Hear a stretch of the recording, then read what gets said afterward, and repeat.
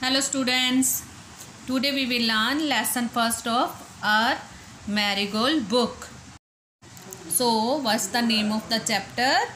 First day at school. So let's start. Enjoy this poem. Listen carefully.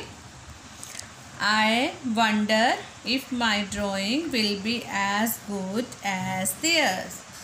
I wonder if they will like me or just be full of stairs. I wonder if my teacher will look like mom or gran. I wonder if my puppy will wonder where I am. इस poem का writer कौन है Elin Fisher अब मैं आपको poem की पूरी summary बता रही हूँ in this poem the child is going to school he is sharing his feeling It is his first day in the school and he is thinking about many things on his way to school. He thinks about his classmates, teacher and also about his puppy.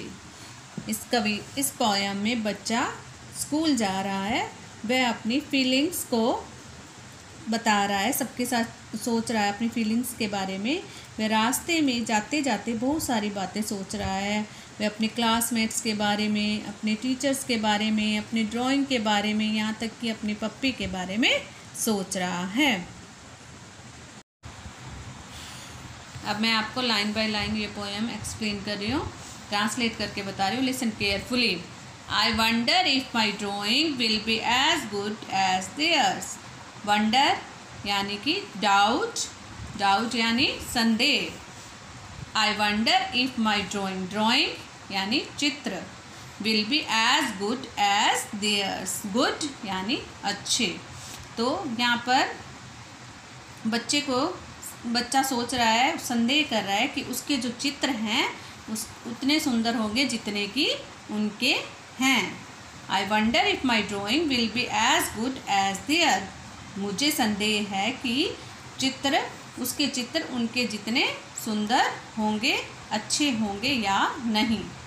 जैसे कि हम भी compare करते हैं, कई बार हम school में जैसे फ़र्स्ट डे होता है तो हम सोचते हैं कि हमारी ड्राइंग भी, हम अपनी ड्राइंग के बारे में सोचते हैं कि मेरी ड्राइंग भी उसकी जितनी जितनी उसकी अच्छी है, उतनी ड्राइंग अच्छी होगी यानी ऐसे उसके मन में, उसका फ़र्स्ट डे स्कूल में था ना तो उसके मन में नए नए संदेह आ रहे थे डाउट्स आ रहे थे कि उसकी ड्राइंग भी उनके जैसी अच्छी होगी या नहीं। नेक्स्ट पैराग्राफ देखेंगे अब। I wonder if they will like me or just be full of stares आगे बच्चे को क्या डाउट हो रहा है? वो कह रहा है कि मुझे संदेह है, मुझे डाउट है कि वे मुझे पसंद करेंगे या केवल मुझे घूर कर देखते रहेंगे। इसमें वो बच्चों के बारे में क्लासमेट्स के बारे में सोच रहा है अपने।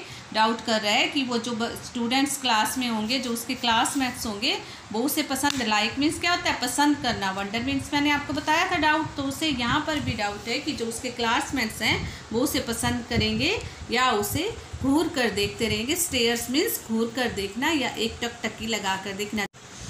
Just be full of stares एक टकटकी लगा कर देखना। स्टेयर्स में मैंने बताया ना, घूर कर देखना। वो सोच रहा है कि वो उसे पसंद करेंगे या घूर कर देखते रहेंगे। अब थर्ड पैराग्राफ देखेंगे। I wonder if my teacher will look like mom or gran यहाँ पर बच्चा अपने टीचर्स के बारे में सोच रहा है। उसे डाउट हो रहा है कि उसके जो टीचर्स हैं, उसे अपनी मम्मी जैसे लग दिखेंगे या उसे अपनी दादी जैसे। तो यहाँ पर वो अपने टीचर्स के बारे में स्कूल में जा रहा है तो अब उसे टीचर्स के बारे में भी तो डाउट है ना? फ़र्स्ट डे स्कूल जा रहा है तो टीचर्स के बारे में वो सोच रहा है कि उसके टीचर उसकी मम्मी जैसे दिखेंगे या उसकी दादी जैसे। नेक्स्ट पैराग्राफ फोर्थ पैराग्राफ देखेंगे। I wonder if my puppy will wonder where I am अब वो यहाँ पर किसके बारे में सोच रहा है? क्या डाउट हो रहा है उसे? अपने पप्पी के बारे में डाउट हो रहा है कि उसका पप्पी भी क्या सोच रहा, उसके बारे में सोच रहा होगा कि वह कहाँ, सोच रहा होगा या नहीं कि वह कहाँ है। ओके स्टूडेंट्स क्लियर अब मैं वापस से आपको ये पोएम रीड करके एक्सप्लेन कर रही हूँ। लिसन केयरफुली पोएम का नेम क्या है? फ़र्स्ट डे एट स्कूल इसमें बच्चा क्या है? स्कूल में फ़र्स्ट डे जा रहा है उसके मन में तरह तरह के डाउट्स आ रहे हैं। पहले उसके क्या मन में डाउट आ रहे हैं? पहला क्या है? I wonder if my drawing will be as good as theirs पहले उसके मन में क्या आया? अपनी ड्राइंग के बारे में डाउट आया कि उसकी ड्राइंग उतनी अच्छी होगी जितनी कि दूसरों की है। तो उसको ये डाउट्स हो रहे थे नए नए डाउट्स आ रहे थे। फिर उसको क्या डाउट्स आए? अपने क्लासमेट्स के बारे में डाउट्स आए, जैसे सेकंड पैराग्राफ में दिया हुआ है I wonder if they will like me or just be full of stares wonder मैंने आपको बताया डाउट लाइक मीन्स पसंद करना और स्टेयर्स मीन्स मैंने पहले भी आपको बताया था क्या होता है घूरना या एक टकटकी लगाकर देखना। तो सेकंड पैराग्राफ में उसे अपने क्ला, क्लासमेट्स के बारे में डाउट्स आ रहे हैं। कि उसके क्लासमेट्स उसको पसंद करेंगे या उसको एक टकटकी लगाकर या घूर कर देखते रहेंगे। Just be full of stares, यानी कि एक घूर कर देखना या एक टकटकी लगाकर देखना। अब उसके बारे में, अब उसके मन में अपने टीचर्स के बारे में डाउट आया थर्ड पैराग्राफ में। थर्ड पैराग्राफ क्या है? I wonder if my teacher will look like mom and grand तो अब वो सोच रहा है अपने टीचर्स के बारे में कि उसके टीचर कैसे दिखेंगे, उसकी मम्मी जैसे या उसकी दादी जैसे। तो थर्ड पैराग्राफ में किसके बारे में डाउट्स आ रहे हैं? टीचर्स के बारे में।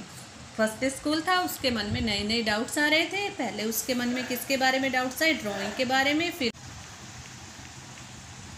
अब उसके मन में अपने क्लासमेट्स के बारे में, फिर उसके मन में अपने टीचर्स के बारे में डाउट्स आए। लास्ट पैराग्राफ में देखो I wonder if my puppy will wonder where I am last paragraph में वो अपने पप्पी के बारे में सोच रहा है कि उसके पप्पी, जो उसका पप्पी है, वो भी सोच रहा होगा कि वह कहाँ है।